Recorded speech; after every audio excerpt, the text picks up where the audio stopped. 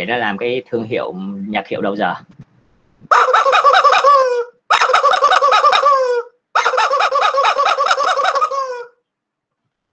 À, chào mừng mình quay sẽ quay trở lại cho phần nội dung quan trọng tiếp theo của cái bài giảng.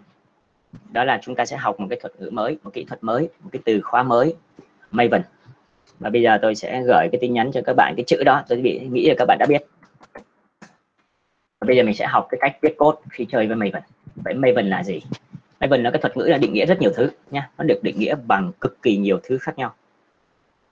À.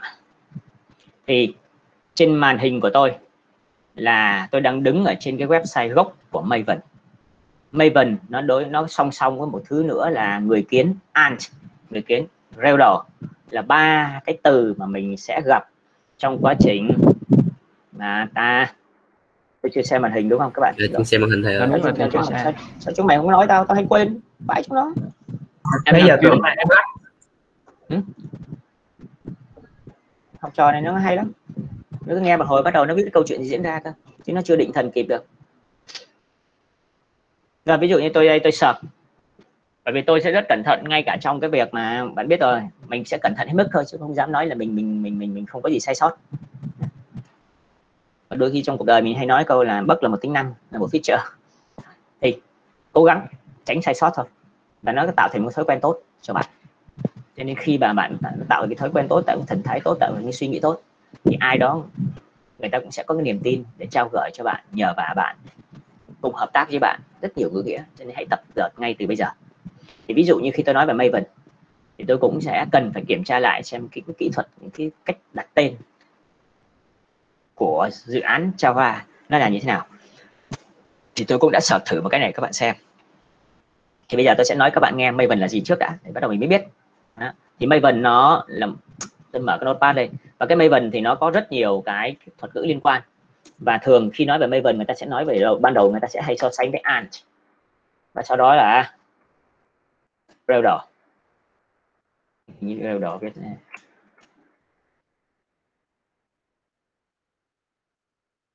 rêu đồ thì biết tự nhiên mình đang đang giảng này ngồi cảm giác bị từ từ từ chữ y, mà mình thấy nghi nghi đó vậy cái này mình ít dùng. Rồi, và tiếp theo, cái tôi muốn nói là cái mày vật. Thì ba cái này, nó là ba cái bộ tool nha cứ tạm hình dung nó là ba cái công cụ. Ba cái công cụ nổi tiếng khi nói về nó còn cái công cụ này nữa. Tại vì đó là mình phải hiểu ba cái này bốn cái này nó vừa rất nhiều nghĩa nha nó có nhiều nghĩa lắm. Nó là một kỹ thuật là một bộ tool là một bộ công cụ để quản lý các dự án quản lý các, các quá trình viết code trong cái code của Java của những dự án Java. Thường nó xuất phát từ Java nhiều. Như vậy nó có thể hình dung nó là bộ tool hay là cái công cụ. Nói chung nó là một cái dạng phần mềm cộng với nhiều thứ đi kèm. Ví dụ JDK thì gọi là công cụ JDK Java Development Kit là bộ công cụ liên quan đến việc học lập trình Java, phải có bộ công cụ này, phải đồ chơi này. tất nhiên cộng thêm cái bộ để gõ code. Gõ code thì bạn có thể cộng gọi là, cũng gọi là công cụ, tức là giúp mình làm được gì đó. Thì có thể hình dung một câu một công cụ để quản lý. Cái dự án Java, dự án viết code, dự án code của bạn. Quản lý cái code của bạn. Lúc viết, lúc dịch từ lúc viết đến lúc dịch đến lúc đóng gói. Đóng gói đến lúc release, đi đâu đó. Release đưa cho khách hàng. Đóng gói nữa còn ví dụ đóng gói được gọi là file chấm wo chấm exe e thì gọi là đóng gói. Release tức là đem đẩy đi đâu đó. Cho việc test, dịch được biến đổi thành chấm exe nha, viết thì cái là bạn viết rồi. Và trong quá trình viết và dịch thì chỗ dịch này có khả năng sẽ cần liên quan đến các bộ thư viện khác. Mình dùng các tool, các công cụ thư viện khác để mình sử dụng trong đã của mình. Ví dụ như bạn chơi với môn Java web thì không thể thiếu thư viện kết nối cơ sở dữ liệu trên DVC đó, thì cái đấy nó gọi là thư viện nha, đi kèm. Thì thực ra những thằng này nó đều là những bộ công cụ để giúp toàn bộ cái này, giúp cái quá trình viết code của mình để ra được cái sản phẩm. Của em tưởng chỉ đơn giản là Java thì viết bằng class cái thứ này nọ, package là xong. Đúng, chuyện đó thì đúng. Viết, đã gọi là viết một dự án web, Java viết bằng cái mẹ gì không cần biết. Nhưng ví dụ nếu vào trang web, nếu làm website, thì thế nào nó phải có cái thư mục để chứa cái file cấu hình. Rồi tự trang các trang JSP cái thứ tài nguyên gì khác. Ở thế nào có các package bên trong để chứa các đoạn code service các thứ mình nằm ở đó. Đại loại vậy. File cấu hình để thêm cái cái resource, những cái tài nguyên cơ, cái nối cơ sở liệu gì đó trong môn trang web cho mày học. C sharp mới vậy thôi à? À em hiểu rồi. Tức là cái ngôn ngữ lập trình nó là độc lập. Nha, ngôn ngữ lập trình nó độc lập. Từ ngôn ngữ lập trình nó giúp em viết code thì cuối cùng viết code bằng công cụ, bằng tool nào thì cuối cùng vẫn là chỉ nhiêu đó cái khái niệm của hướng đối tượng, của ngôn ngữ đó ra. Em đồng ý luôn. Nhưng bây giờ cái cách làm sao để làm tiện lợi? Thì giang hồ khi bắt đầu nó nghĩ về app java, đích đến luôn luôn là va file chấm char một cái mô dự án tôi đang nói trong dự án java thế nào thì là chấm co là hai cái định dạng nổi tiếng nhất. Định dạng nổi tiếng nhất. Và thêm cái nữa là apk lúc đóng gói của cái phần mềm android. Thì kiểu đây là những định dạng nổi tiếng nhất. Vậy thì để đến được định dạng này thì viết phải viết bằng ngôn ngữ java nhưng mà để đến đây cái file này file này đã thống nhất nhau rồi. Java nó đã thống nhất cái cấu trúc hết rồi. Chỉ quan trọng nhất có rất nhiều cách để ra đến cái file này. Vẫn phải là viết ngôn ngữ java. Thì những cách thức để tổ chức cái code mà cuối cùng để ra được cái file này. Ra file này đẹp chuẩn chuẩn thống nhất toàn thế giới rồi, ngôn ngữ Java. Nhưng mà cái quá trình viết code ấy, vẫn là class đầy đủ luôn với ngôn ngữ Java nó đã quy ước cái đó. Nhưng chỉ cái điều bố trí các class, bố trí các thư viện cái này nọ thì nó có các cách khác nhau có các cách khác nhau. Ví dụ như khi đóng gói ra thì nó phải ra một cái thư mục nào đó để chứa cốt, à, chứa cái app file.go này. Thì để đâu? Vấn đề cái file.go này dùng tool công cụ nào không cần biết nhưng cuối cùng nó phải ra được cái file.go và .go để chỗ nào? Nó để cùng với cái thư mục class code của mình hay để thư mục nào khác? À thì cái này nó liên quan đến tùy tùy bạn chọn cái bộ công cụ dùng để đóng gói. Đó, tùy bạn chọn bộ công cụ đóng gói tùy bạn chọn cái bộ công cụ quản lý khác nhau cái này cũng giống như ngôn ngữ Java, lập trình app Java, thì ngoài cái việc bạn xài NetBeans bạn còn một vài cái tool khác mà. Nhưng mà đích đến đều giúp tao ra được cái này. Đó, cho nên bạn đang hiểu về cái cách tiếp cận là cách tổ chức quản lý code của bạn. Thì nó có rất nhiều trường phái khác nhau. Thì mặc định cho đến thời điểm này, các bạn đang xài app của bạn theo phong cách là ant người kiến. Và bây giờ muốn biết người kiến thế nào? Đây. Tôi sẽ mở cái netbeans cũ lên để bạn nhìn trước, rồi sau đó tôi sẽ nhìn rộng hơn cho cái netbin mới. Rồi, vậy thì mặc định cái netbeans 8.2 khi bạn new mới một dự án là nó sẽ tổ chức toàn bộ cái cốt của bạn theo phong cách của, gọi là người kiến. Đây là một cái bộ quy ước trước, nha. Thế thì sau này, nó bắt đầu nó nâng cao hơn, nó nâng cao hơn và nó có những phiên bản khác, những cách thức tổ chức cốt kiểu khác. Mặc dù vẫn là class trong Java thì đó là ba cách này. Và cái cách này nổi tiếng hơn cả cách này Maven là nổi tiếng hơn cả. Nó chẳng qua là cách tổ chức thư mục chứa code. Dạ thưa thầy thầy cho em xem lại tổ chức thư mục chứa code của bên NetBeans như thế nào. Không, đừng dùng trên NetBeans mà phải dùng là dự án theo xì tay nào. Ví dụ tôi new mới project, bạn không cần mở NetBeans này. Hôm nay mình chơi này. Mở sẵn NetBeans 12 lên đó. Thì bạn nhìn. Đây. Mặc định của Java. Java web đây. Nha. Java web. Và tất cả bọn này đang xài, gọi là cái xài ant người kiến. Nó xài đang người kiến. Này Java web ở nãy vậy. Nó đang xài cái, cái, cái cái gọi là cái cách nó tổ chức cái thư mục chứa cốt theo phong cách người kiến. Mặc dù cốt vẫn là class nghe kỹ đấy. Như vậy quá trình build thì nó sẽ gọi cái người kiến ngầm nó là một cái tool riêng nha. Nó pin nó tự động nó có khi nó tích hợp với những người kiến sẵn vào. Cho nên bạn new mới project kiểu này new mới project này là theo kiểu người kiến. Nhưng còn một cái này nữa. Đó. Cái này nữa bạn vừa muốn Java web bạn sẽ viết kiểu này. Thì cái tổ chức cái thư mục code nó khác mặc dù cái thư mục web in và cái thư mục web, cái file web.xml là giống là giống, cái phần đó là phần giống. Nhưng cách tổ chức code bên trong thư mục code là khác. Mặc dù vẫn là chấm class.java vẫn package, tức là chia thành từng phân cấp phức tạp hơn. Đích đến là như nhau, đều ra file word được cả. Vì cho dù mày làm kiểu này, hay mày làm kiểu này, thì đéo mẹ đã chạy trên Tomcat là phải chấm word. Chạy trên các server mà web của Java là phải chấm word. Thì chấm word là ngôn ngữ Java, Oracle và công ty Sun thống nhất rồi. Anh em không quan tâm mà chúng mày bằng cách nào ra file đó được? Thì đó là chuyện của chúng mày. Cho nên nó có hai xì tai nổi tiếng. Xì tai viết code và tổ chức các cấu trúc các, các file các thư mục code là theo phong cách người kiến và phong cách Maven như vậy nó khác nhau ở cái gì thưa thầy? Nó khác nhau ở cái gì thưa thầy? Các bạn không cần nhé để tôi sẽ mở một cái dự án này các bạn xem. Dự án của trong. Hãy nhìn thử. Ví dụ như tôi sẽ nhìn dưới dạng đĩa cứng. Tôi nhìn dưới dạng đĩa cứng. Thì đây là đĩa cứng. Thì ví dụ như cái demo của lớp mình. Thì đây nó sẽ có cái thư mục thứ nhất là thư mục build. Đó suộc và test. Nó tách riêng này trên đĩa cứng ấy trên đĩa cứng của mình lúc mình lưu dự án ấy. Suộc chính là cốt chính của mình đây. Cốt chính của mình nó nằm đây. Còn đây là phần test. Phần test dĩ nhiên các phần mà test nó để trong đây nha rồi bạn thấy nó có nó có cái thư mục build. Và mai mốt nó còn thư mục tên là dist, dist là distribution. Để cách tổ chức code theo phong cách này. Nên nhớ cái suộc và test sẽ lấy một cái cái, cái, cái lớp khác. Như lộ lớp nào? Mà chưa tiêu đi. Đây bạn thấy cách nó chia này. Cốt chính của mình ngày hôm bữa mát tiêu mình làm cho JGDit 4 đây JGDit 4 và nhìn kỹ JGDit 4 đây phần test của mình đây. Còn đây là phần mà mình đã làm hôm bữa. Như vậy nó tách riêng suộc chính và test. Và code vẫn như nhau. Thì thằng Maven nó chơi trò khác, nó không chia kiểu này. Mặc dù code vẫn thế này, vẫn package package package đến đây. Đến đây phần này giống, phần này giống. Nhưng mà riêng cái test và cái suộc này nó chơi kiểu khác, nó không để bố trí kiểu này. Nó không bố trí. Nó chơi trò khác nha, nó để lại thành cái cấu trúc khác trên đĩa cứng. Đây tôi đang xem trên đĩa cứng ấy. Trong netbin nhưng mà xem trên đĩa cứng ấy. Còn cái tab này mới là xem dưới dạng project. Còn tab này thì nó sẽ kiểu khác, còn tab tab file là xem theo đĩa cứng.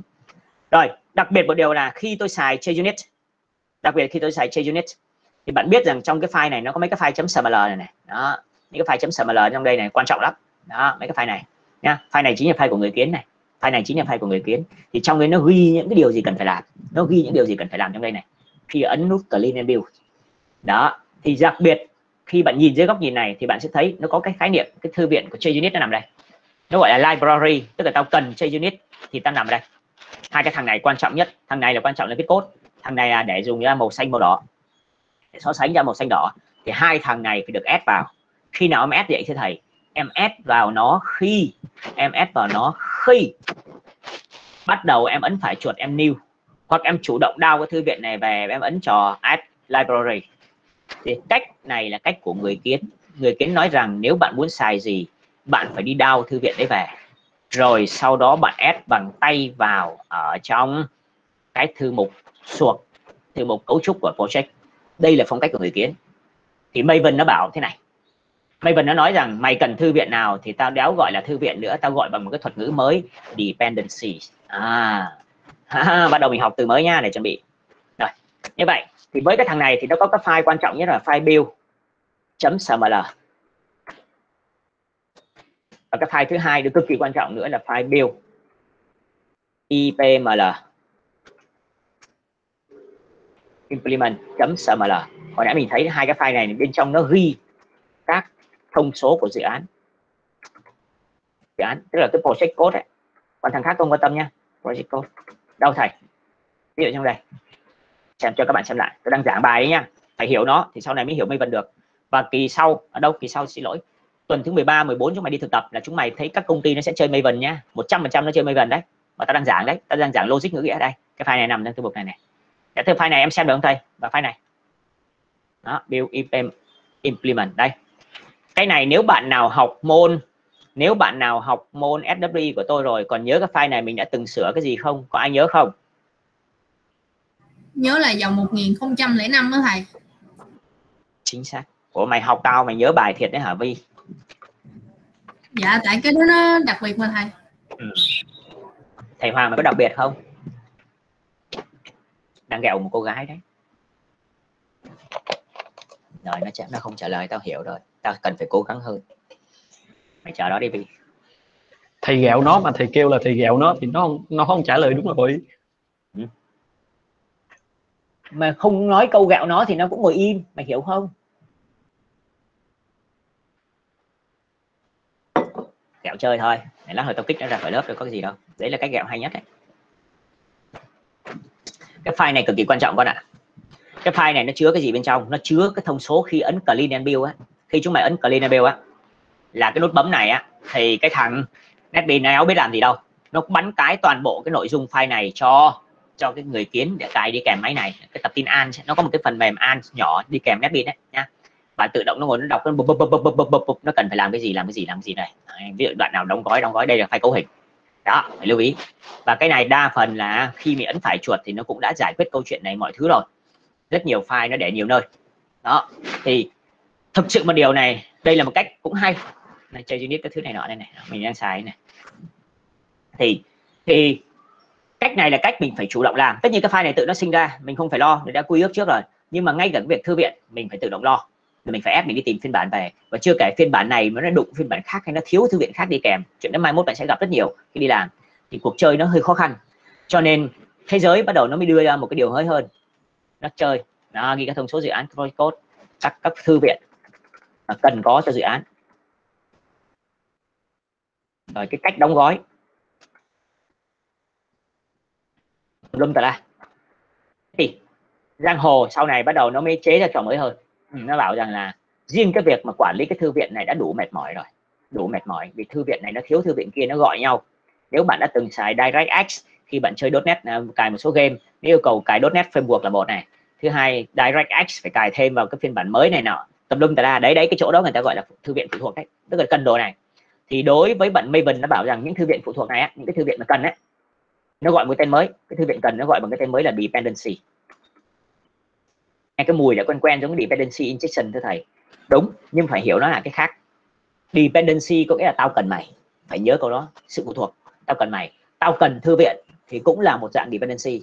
Còn tao cần cái đoạn xử lý của mày trong code, một phần, dependency injection là một dạng luôn. Cho nên cái chữ dependency phải hiểu rộng nha. Phải hiểu rộng. Đối với dự án bắt đầu viết code thôi, những thư viện mình cần cần dùng. Nếu đối với nhìn với bên người kiến là phong cách cũ thì cách tổ chức cốt kiểu cũ. Nhưng mà đích đến vẫn luôn luôn là ra file chấm tra chúng mua nhá. Phải nhớ nó, nó hay ở chỗ đó. Thì đây là một xì tay tổ chức cốt thì toàn bộ thư viện nó gọi gọi là library rõ ràng. Bên này mình biết ngay chỗ này là library. Nhưng đối với bên Maven mình cũng vẫn viết code Java như bình thường chả khác gì kiến thức. Chỉ có điều toàn bộ thư viện đó nó gọi là dependency. Chứ nó không được gọi là library nữa. Dependency nó giải, giải thích có nghĩa là tao đang cần mày lắm luôn. Còn bên này cũng vậy tao cần đồ chơi có sẵn. Hai chữ là như nhau về ngữ nghĩa thôi. Nhưng mà cái thú vị của cái thằng dependency bên này là Maven là nó nói rằng mày không cần phải đau về. Không cần download về. À, cái thú vị của nó download về. Mà không phải download về sao sao biết được? Đó logic mình sẽ tự hỏi luôn không phải download về. Thì bọn này bọn Maven này nó có một cách mày đóng gói trong cái thứ này nó trình tự giống nhau thôi. Thì toàn bộ những cái thông số này này. Thì bây giờ nó cũng vẫn phải có khai báo không cần download về. Tao tự đao cho tức là Maven là cái tool nó tự đao cho. Cho Maven nó tự đao cho. Mình không phải tự đao nhé tự nào tự add vào. À, có vẻ thú vị. Chỗ này nó tự đào nó tự add vào. Vậy làm sao nó tự đào và tự add vào được? Mình chỉ chỉ cho nó cách làm thôi. Như vậy trong lần này mình sẽ dùng một cái file tôi hay đọc vui là file qdom.sml một cái file gọi là file pom.sml xml. Pom.xml pom viết tắt của chữ project object model. Nó sẽ coi toàn bộ cái phần cốt của bạn toàn bộ những phần thông số code và các thư viện phụ thuộc của bạn nó đều coi là những object. Tức là cái này nó không phải là ngôn ngữ lập trình. Mình phải hiểu không? Đây là một cái cách thức nhìn cái đồ đạc trong nhà mình dưới con mắt khác dưới dạng các object phối hợp với nhau. À, một lần nữa là đem tư duy hướng đối tượng vào. Như vậy tất cả các thành phần của các bạn dù từ giai đoạn viết code từ các bộ thư viện phụ thuộc rồi từ những cái giai đoạn biên dịch rồi chạy bộ test nó đều nhìn những cái tác vụ này những công việc của cái dự án làm phần mềm đang quá trình làm phần mềm trong riêng phần mềm này thôi thì nó được xem tất cả những thứ này là những object và những cái hành động tùm lum. Thì toàn bộ cái đó nằm trong cái file gọi là file pom.xml như vậy bây giờ thay vì mình đi tìm thư viện để download về không cần nó sẽ tự download về. Câu hỏi đặt ra làm sao nó download được? À, đây tôi đang chọn giải thích nha. Chưa nói về cấu trúc đâu chưa nói về cấu trúc của code các thứ này nọ đâu nó tổ chức nó khác. Thì toàn bộ thư viện này thì nên nhớ một điều làm sao nó đau về được? Thì mình phải khai báo trong đây thôi khai báo trong đây những cái thư viện mình cần. Tất nhiên làm sao biết thư viện nào cần? Thì bạn đã từng được học rằng là kết nối cơ sở liệu với SQL Server thì cần phải có driver. Cái chuyện này bạn phải học rồi. Thì bạn vào Microsoft bạn bạn tìm cái driver để bạn đau chuyện đó không có gì sai. Nhưng mà kể từ ngày hôm nay về sau, khi mà vào đến Google mình search về câu làm sao để kết nối cơ sở độ MySQL, thì chắc chắn là người ta sẽ yêu cầu add cái thư viện này. Và mày chỉ cần biết cái tên thư viện bằng cách đọc Google chung chung rồi mày sẽ tao chỉ mày một kỹ thuật và với kỹ thuật đó thì tụi bay sẵn sàng để bắt đầu có thể bắt đầu biết cách đau ở đâu về nhưng mà không tự đau. Nên cũng giống như cái này thôi mình phải đọc trên mạng và mình đau về. Còn đây chỉ cần đọc trên mạng và biết rồi thì bắt đầu có cái mánh là tự đau về được mà không cần phải đi đau. Thì cái câu chuyện đấy nó xảy ra thế nào? Trên thế giới có rất nhiều lập trình viên của cái công của cái cái cái, cái tổ chức này. Apache họ rất chăm chỉ trong cái việc nha.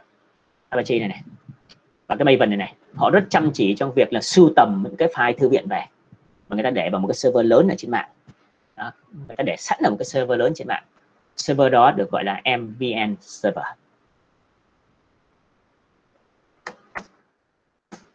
Đây, MVN repository.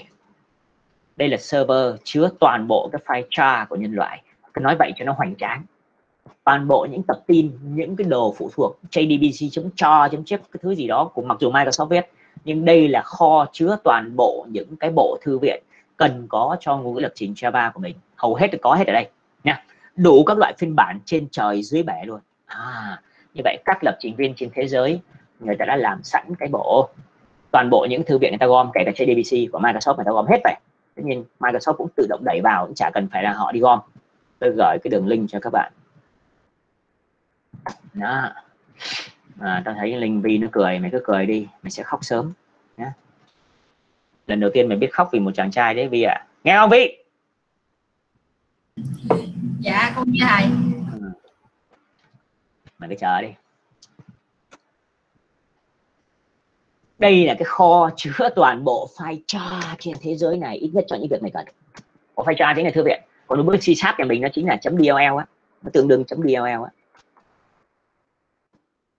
Cái này làm bắt đầu nhớ đến nhóm demo của nhóm thằng Bảo cái câu lệnh npm ấy nó giống cái kiểu đó, tức là nó có download một cái kho đồ chơi bên Node.js về.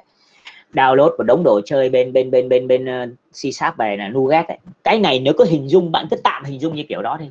Mỗi cái ngôn ngữ lập trình nó có cái bộ kho thư viện của những cái nhóm thiện nguyện hay những cái tổ chức chung chung để nó duy trì ngôn ngữ ấy. nó để sẵn trên cái server. Cái đấy là server ngầm hiểu rồi. Và bây giờ mình hiểu cái server ngầm hiểu này server này. Đó. Rồi, như vậy bạn cần cái gì? Thì bạn chỉ cần gõ tên của cái thư viện đó lên đây và nó sẽ tự động nó sẽ tự động có cái câu bạn chỉ dán vào cái file này. Như vậy bạn muốn xài muốn xài thư viện nào? Muốn xài cái thư viện nào? Thì ta, ta muốn xài thư viện nào thì ta ta khai báo cái tên thư viện thôi. Trong cái file qsum.xml khai báo tất nhiên tôi chỉ cách khai tôi sẽ chỉ cách khai báo. Thế là cái IDE cái tool Maven của mình nó gắn đi kèm với cái IDE nó sẽ tự động lo lên đây nó đào về. Và nếu nó trong quá trình đào về nó thấy rằng thằng này cần thằng kia thế là tự động đào hết miền cho mình luôn. Đó em Maven tự đi đào đào về. À, và các những thứ mà liên quan nó đào hết luôn liên quan nó đào luôn thứ liên quan lung tung, các thư viện khác đi kèm, nó có đào luôn cho mình. Nó hay lắm. Nó đào luôn cho mình. Đào luôn về. Xin lỗi. Phải loco nó để dành. Như vậy, nếu giả bộ sau này em cần dùng lại cái JDBC em có cần phải đào lại không? Không mày chỉ cần khai báo trong cái file đó vào thôi. Nhưng sau khi khai báo xong, tự động cái thằng Maven nó kiểm tra loco đã có chưa? Nếu có rồi thì nó tự động nó lấy vào cho luôn, mình không cần đau luôn. À như vậy nó có lợi điểm như vậy. Vấn đề bây giờ làm sao em biết? Làm sao để em đau em khai báo trong đây? Thì cái thằng này nó chỉ cái cách khai báo mình cho luôn. Tôi sẽ cho ví dụ luôn, bắt đầu xem thử. Nếu tôi muốn chơi với JUnit thì sao? Tôi sẽ gõ chữ JUnit các bạn có thể làm thử luôn. JDBC cũng được, tôi gõ JDBC trước đi. Search. Rồi, vào đây. JDBC của Microsoft đây. Mình biết rằng mình đang xài Microsoft. Bạn kích vào nó. Và bạn thấy các phiên bản, các version ví dụ JRE 15 có nghĩa là hiểu là phiên bản 9.3 nhưng mà dành cho JDK 15 9.3 dành cho JDK 8 đây là cách. Đó, đây là chơi đây JDBC rồi bây giờ giả sử em muốn đau thư viện này về sao? Kích vào nó một cái. Bạn muốn lấy phiên bản nào tùy bạn. Thì tự động nó sinh ra. Đây đây là cái câu này người ta gọi là dependency. Mày hãy copy cái này mày dán vào cái file fusion mà máy logo của mày. Thế là lát hồi tự nó đau về cho mày. Nếu nó đau rồi thì nó sẽ không đau nữa. Cái tool Maven đứng đằng sau netbean này khi cài netbean và tất nhiên mình có quyền cài tool NetBeans tool rời nha. Cái này cài cái Maven rời. Maven nó là một cái tool rời, nó cắm vào NetBeans nhưng mà khi mình download NetBeans nó có sẵn. Trong, nhưng mà phải hiểu rằng nó là tool rời. Một của một nhóm khác, Apache nó sản xuất. Một nhóm lập trình viên nó sản xuất. Và cái này nó thành chuẩn rồi. Và chúng mày đi vào các công ty phần mềm. Chúng mày mở cái cái cái tool là IntelliJ lên. Nó cũng sẽ chơi Maven. Và bây giờ chúng mày đã hiểu cách đọc code trên mạng. Đôi khi trên mạng người ta bảo yêu cầu tạo package xong, sửa cái file qsum.sml add cái dependency kia vào thực ra chẳng qua là khai báo sử dụng thư viện. Còn câu khai báo thế con mẹ nào thì mày muốn dùng thư viện nào thì mày cứ lên trên cái MPN mày gõ tên thư viện và mày chỉ, chỉ cần kích vào đây cái nó copy sẵn cho mình rồi. Nó copy cái đường này mình chỉ cần dán vào file qsum phần còn lại tự động Maven lo. Thì như vậy nó sẽ tự động add dự vào cho mình luôn. Thì cái cơ chế vừa rồi tôi đang nói là cái cách vận hành và tổ chức dự án theo phong cách của của Maven mọi người có đang theo kịp không ạ? Dạ có thầy vậy kể từ ngày hôm nay về sau mọi dự án kể cả môn Java web mình sẽ chơi Maven kể cả chơi DBC đéo cần đau tao sẽ chỉ cho mày cách qua tuần bắt đầu mình sẽ chơi cho nó mình sẽ làm Java web thử. Và mình sẽ chơi theo kiểu một phong cách Maven để cảm nhận có điều sung sướng ở góc độ quản lý thư viện và những đồ phụ thuộc nha à, nó có cái, cái dùng cho nó thôi nhưng mà phần còn lại thì là viết code như nhau không thay đổi. Cái logic viết code không khác chỉ có khác cách thức triển khai dự án và tổ chức dự án trong quá trình viết code. Nó khác biệt so thằng người kiến thế thôi.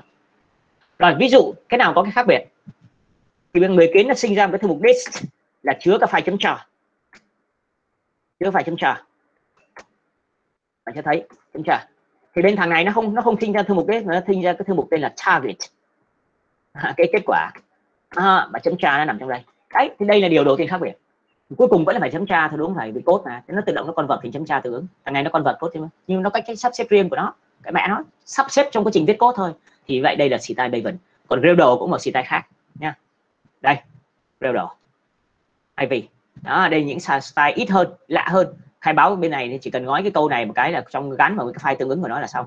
Đây là phần ghi chú nha. Phần này, cái phần chấm than này là phần ghi chú. Phần cốt này mới là cốt chính này mình gắn và bây giờ mình sẽ làm điều đó. Luôn. Cho cái bài, cho cái bài change unit. Rồi, mở netbin mới lên. Ta tắt netbin cũ đi. Đấy, ta vừa giới thiệu xong. Netbin mới. Nào. New mới project và bạn đã hiểu tại sao Maven nó hay cho nên hiểu tại sao từ netbin 10 trở đi nó đôn Maven lên làm default chưa? Mọi người trả lời.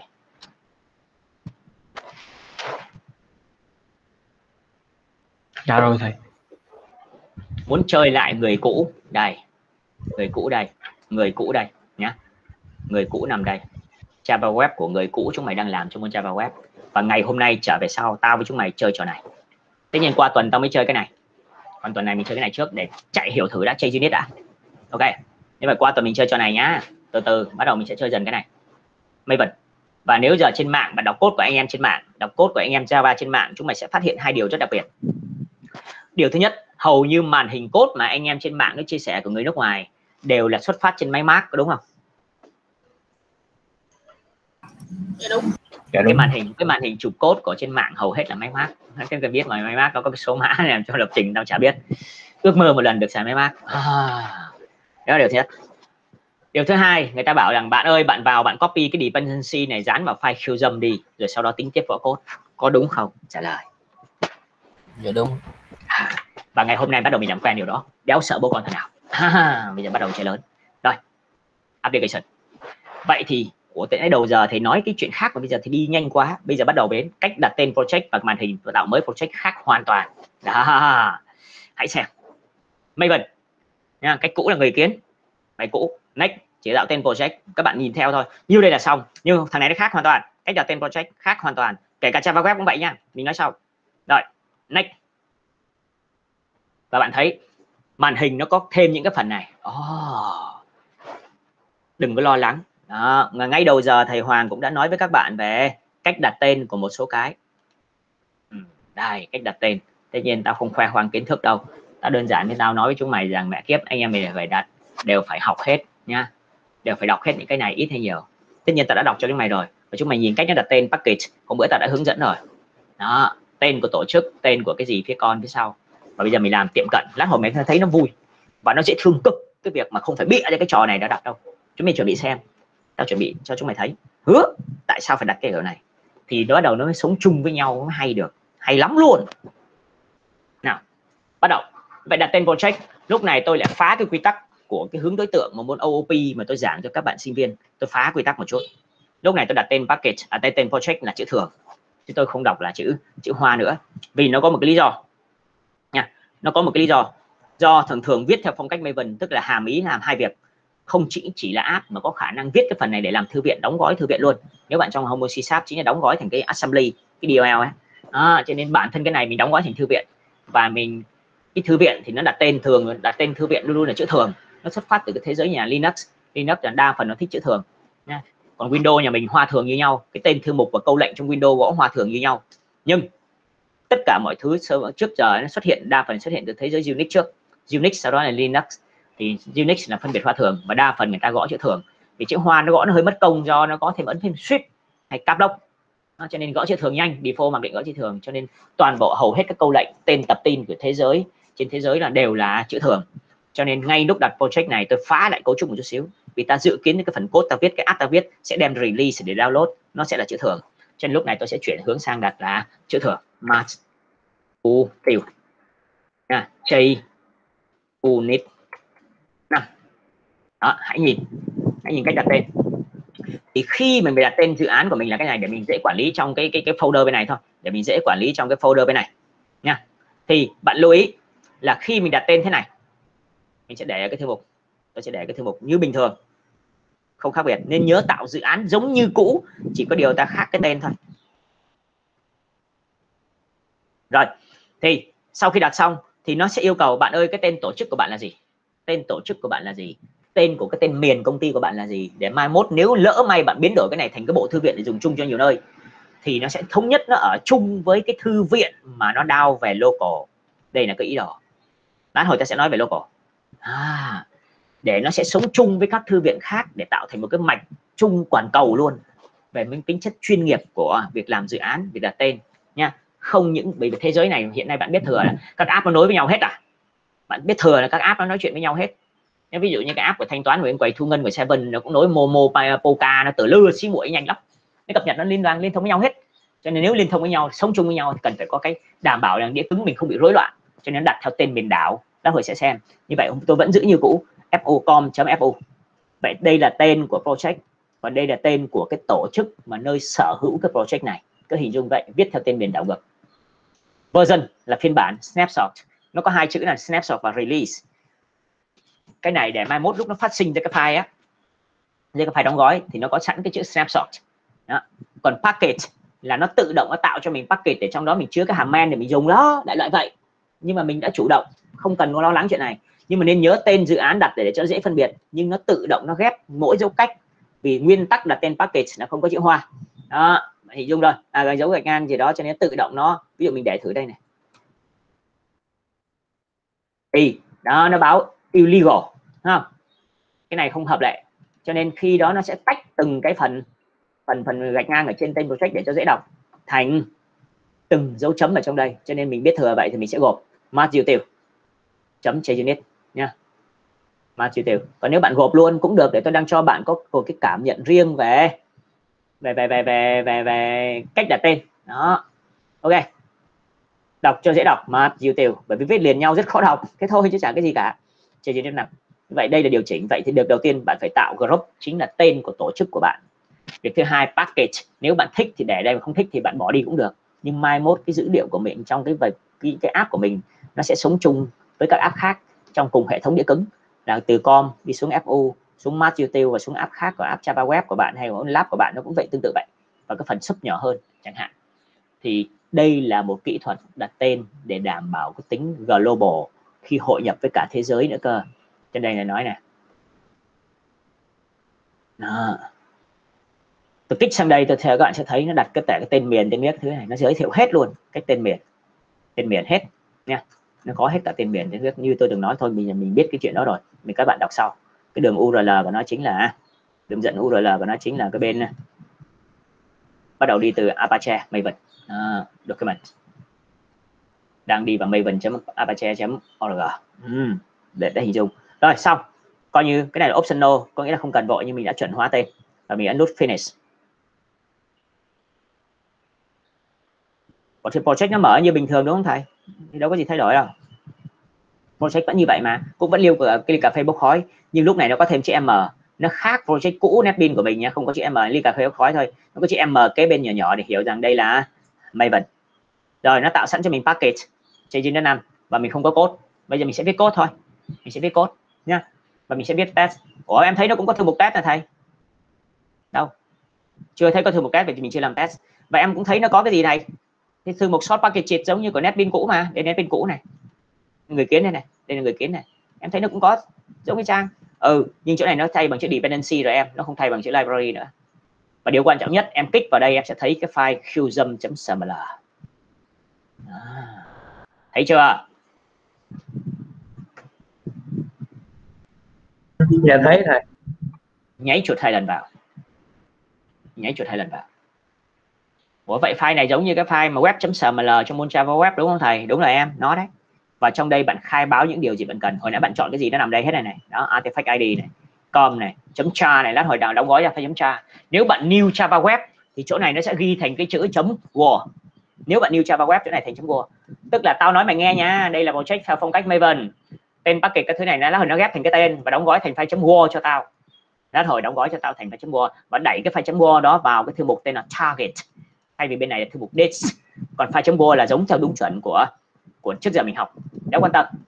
Và bây giờ mình sẽ bổ sung những khai báo, mình sẽ khai báo những cái gì mà mình cần nó nằm ở đây này. Những dependency nó nằm ở đây. Đây là điều mà mà mình cần quan tâm. Ok chưa? Vậy thì để khai báo được những điều này thì làm sao em biết em cần chase unit nào? Thì đây là câu chuyện quay qua quay chuyện lại. Tao với chúng mày phải tập đọc document của trên mạng chứ chả có cách nào tao thầy Hoàng không hay hơn chúng mày đâu. Và ví dụ để tao tìm cái thư mục. Đây. Đây chase unit 5 nha đây là thư mục chuẩn của chase unit. Rồi tôi chờ tôi xíu để tôi quay trở lại. À, nó cái chiều hay lắm. Chờ xíu. À, tôi, tôi, tôi tìm cái thư viện. Đầu mẹ rồi? Đây đây đây rồi xem thử. Nào thì cái chỗ này. Bây giờ em muốn đi tìm change unit 5 bởi vì mình mình không xài change unit 4 nữa. Mình xài change unit 5 mới. Thì năm gõ cho tôi change unit 5 rồi thì change unit 5 muốn xài trên đến năm nó phức tạp hơn. Nó phức tạp hơn hẳn vì nó thay đổi cái lõi viết bên trong của nó. Vậy bạn muốn xài nó bạn phải ép đến ba bộ thư viện lận. Ba bộ thư viện bộ thư viện thứ nhất là nó đổi tên là Jupiter rồi. Là cái co của nó đổi. Đây này đây org chấm chấm Jupiter. Đó, tôi đang chỉ cách các bạn đặt tên. Vậy thì bạn phải chọn cái thứ nhất là bạn chọn cái Jupiter. Là cái đầu tiên. Cái thứ hai, Jupiter Engine. Cái này nó đưa đưa cho hàm để mình viết code a cộng ấy. Mình muốn viết a cộng thì phải có bộ thư viện này. Còn cái thằng này liên quan đến việc nó chạy. Còn cái thằng ra xanh đỏ là một cái thằng khác nữa. Còn cái thằng này param, tức là parameter, tức là tham số hóa data driven đấy, nó có rải rác những miếng này, nha. Thì cái thằng này tương thích thôi. Thì bây giờ mình cần, mình kích thử vào cái Jupyter nhớ chơi đến năm nha. Kích vào Jupyter API và bạn sẽ thấy trong đây có rất nhiều phiên bản. Thì phiên bản nào có số mà không có cái chữ cái bên là phiên bản ổn định.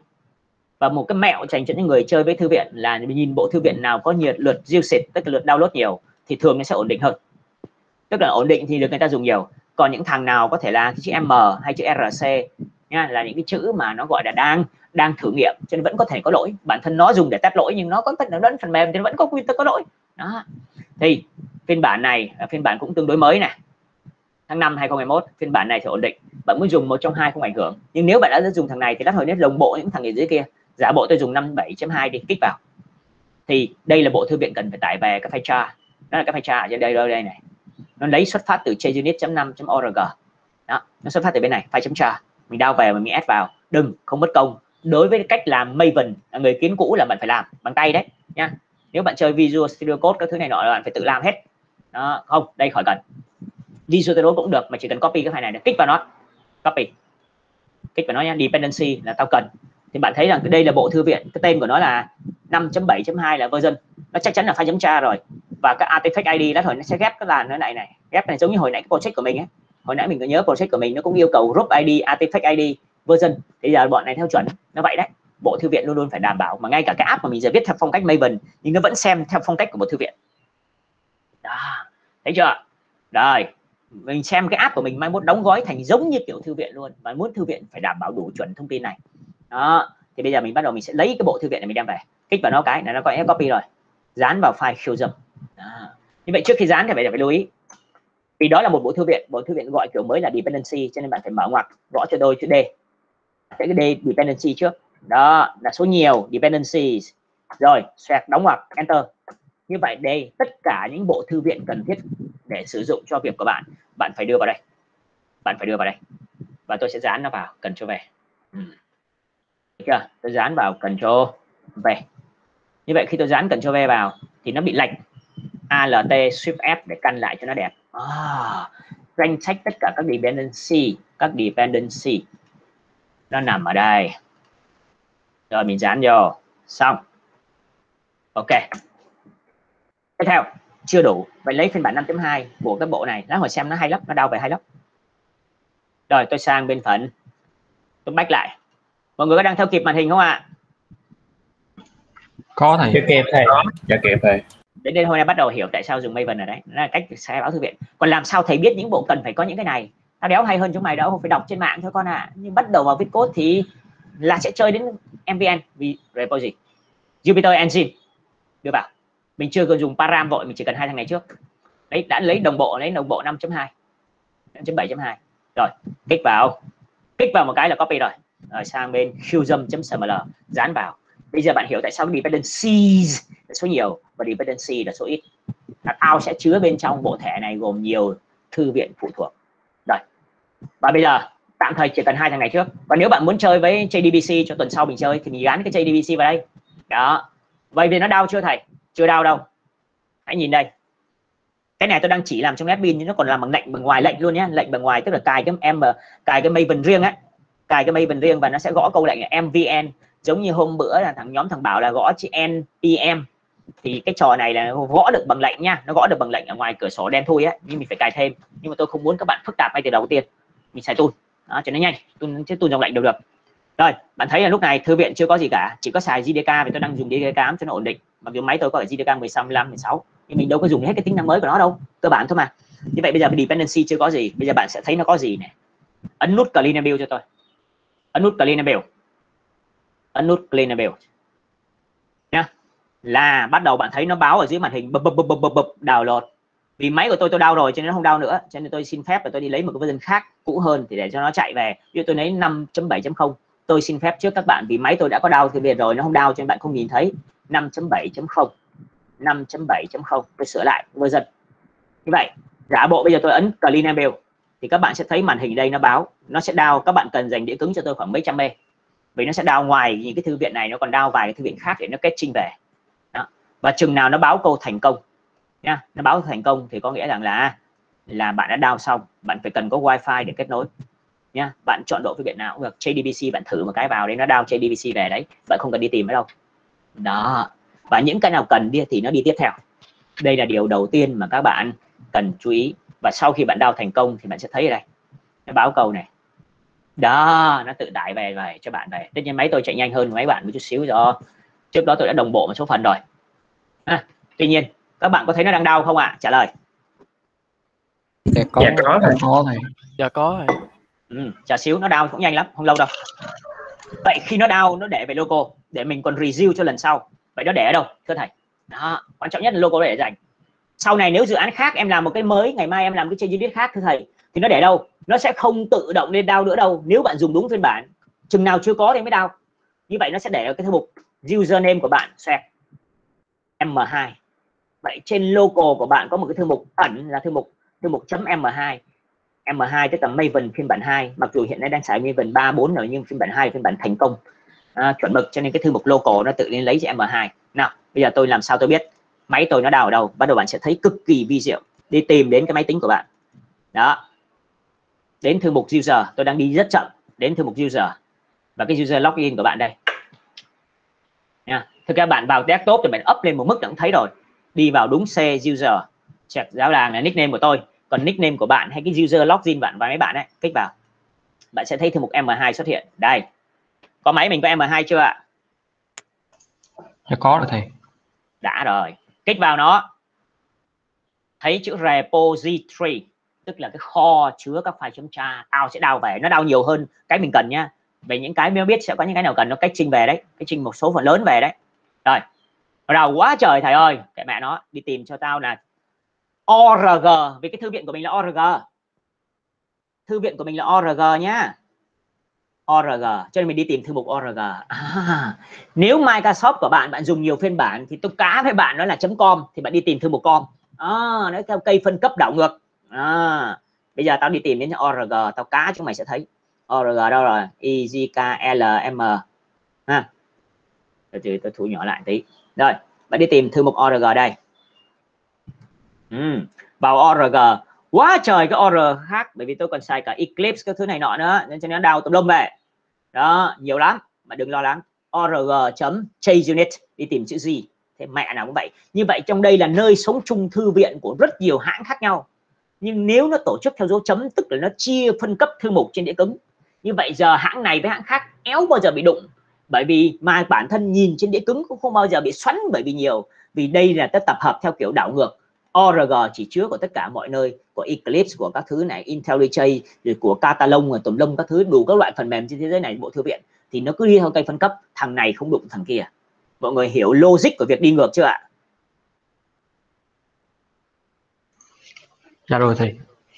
Vào đây chẳng mày sẽ thấy cho tao chữ JUnit nha. Có đang đi tìm org đúng rồi g e g h i z đó J đâu rồi? I J u đâu? Đây JUnit và trong đây mình sẽ thấy à, các phiên bản Jupiter. Vì hồi nãy nó chấm Jupiter vào Jupiter đây là cái tên mới tên dự án mới của cái JUnit nha. Và bạn sẽ thấy API và engine param thì tôi đã đào trong bữa sau học về học về về về về, về cách viết code. Như vậy API và engine bạn sẽ thấy nó tự đào về phải chấm tra này. Đó bao nhiêu phiên bản nó đào sẵn mẹ của tôi tôi đào tùm lum tôi thí nghiệm cho nhiều lắm ví dụ 5.2 nó đau. Đó nó đau các phải chấm tra là vậy là quan trọng. Ủa vậy thì tần kỳ vị, vị đắt hồi em làm một cái project mới á thì em sử dụng lại em khai báo cái này bên file khiêu dâm ấy thầy. Thì thì thì thì có sao không thầy? Thì em nó có đau lại không? Không nó tự động nó lấy ở local về. Đó vậy chỉ trường hợp nào nó không có thì nó mới lấy trên kia về. Và tôi cá với bạn nếu bạn kiểm tra lại máy của bạn lúc này đã có sẵn sàng. Test dependency nó để về rồi. Alo anh em có theo kịp không ạ? à? Code có chưa? Dạ có thầy. Dạ có thầy. Vậy thì bây giờ phần còn lại em xài như thế nào thì xài như bình bình thường. Ấn phải chuột trên phần này viết code như bình thường. Đây thì bữa sau tao sẽ hướng dẫn chúng mày viết code sao xài lambda expression một phần nhỏ. Cho nên vì cái thằng mới này nó đổi sang lambda cho nên thầy Hoàng mới phải cất công giảng cho chúng mày lambda. Chứ lão Hoàng không có rảnh đâu. Nghe chưa? Rồi còn lão còn bận nhiều việc khác để học hành nữa. Đó cho nên tao muốn nói chúng mày chúng mày cảm hứng đi các con. Hãy xem thử này, lambda, tại sao thầy Hoàng dám nói chữ lambda ở trên GDS 5 này, đây website gốc của trên 5 đây. Trên 5 đây. Và bạn nhìn cái chữ này này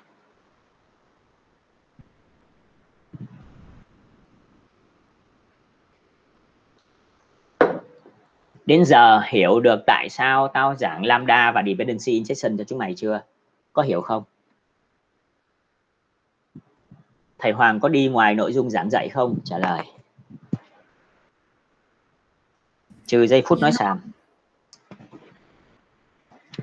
Và ngày hôm qua nếu cho các bạn xem cái nhóm nào mà demo Nginx thì cái phần Assert Show cũng xài Lambda đúng không? Ngày tuần sau mình y chang y chang như viết trên Nginx của bên C Sharp. Ta sẽ làm y chang thì chúng mày xem. Và sau đó Thầy. là xong phần. Ơi À, cái dependency đó mình có thể uh, lưu ở trên project được không thầy?